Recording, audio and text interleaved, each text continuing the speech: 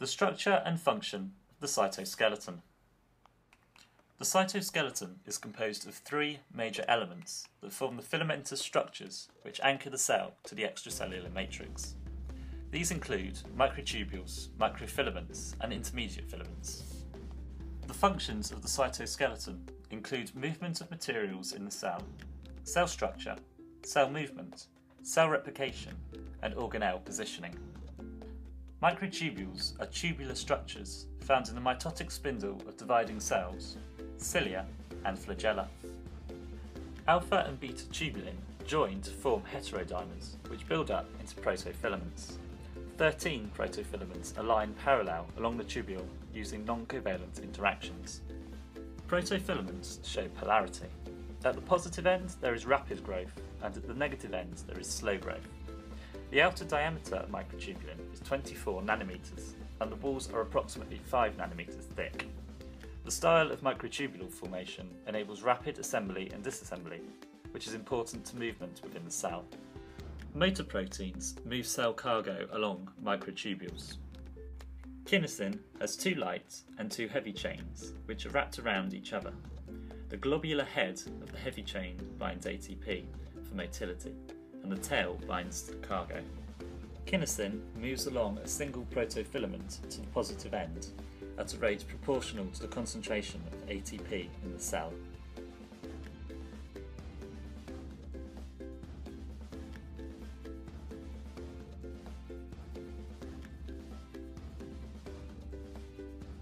Dyneins are motor proteins with two or three heavy chains with globular heads for motility and many light chains.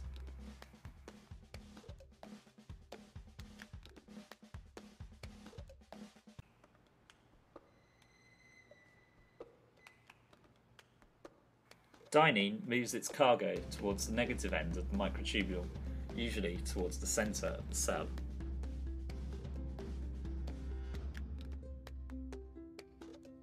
Intermediate filaments are heterogeneous. There are 70 genes coding for different intermediate filament monomers in the human genome. Two monomers wrap around each other to form a rope-like dimer. Two dimers associate in an antiparallel staggered arrangement to form a tetramer. Intermediate filaments are not polarized because of this. Eight tetramers associate lengthways to form one unit length of filament, approximately 60 nanometers long, while these unit lengths associate end to end to form elongated filaments. Individual tetramer units can move into and out of the filament structure. Intermediate filaments are used for mechanical strength and have only been observed in animal cells. They extend throughout the cell from desmosomes and hemidesmosomes spanning the cell surface membrane. Connections to other cytoskeletal elements and the nucleus are made by cross-bridge proteins, most notably plectin. Microfilaments consist of the globular G-actin monomers and assemble into F-actin polymers in increasing ionic concentrations. The process also hydrolyzes ATP. Assembly begins with dimers and trimers forming into fibrous proteins, the chain elongating quicker at the positive end. Actin dissociates less readily when bound to ATP. Filaments can be broken down by cofilin binding to actin filaments. Profilin reverses cofilin action with the use of ATP. ARP2 or ARP3 proteins provide a nucleation site for a new filament to form. Actin filaments can form many different shapes to form bundles and networks. Bundles arranged in parallel support projections like microvilli.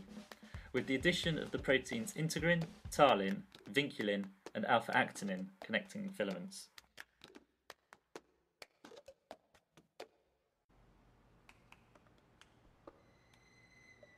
Muscle contractility. The structure of a muscle fibre. Muscle fibres are made up of myofibrils.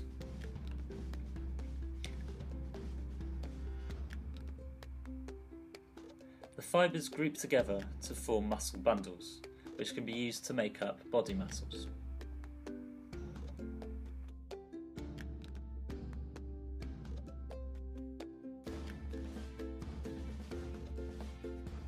Individual sarcomeres contain actin and myosin fibres.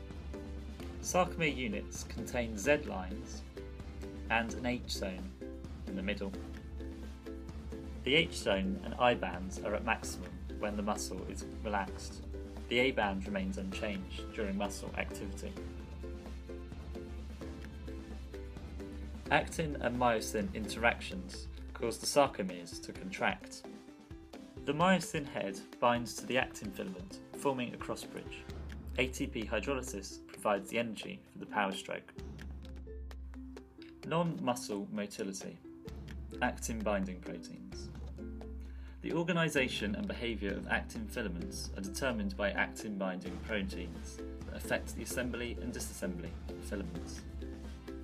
Actin binding proteins can be divided into several categories based on their presumed function in the cell, starting from nucleation of the monomers to the formation of crosslinks, and eventually the adhesion of the membrane.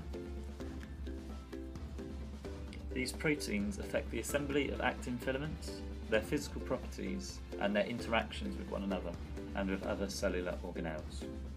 Cell crawling. Cell crawling is an example of non-muscle motility. A lamellipodium extends from the cell, providing temporary anchorage to an extracellular surface. The lamellipodium is created by actin filament protrusions. Thank you for watching a sweet production for BI 2202 Advanced Cell and Immunobiology.